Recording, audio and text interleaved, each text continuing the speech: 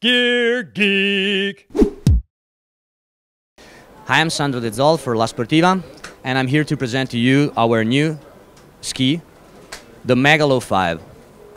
We took the shape of, the of one of our best sellers of the past season, the Lo 5, and give it more strength,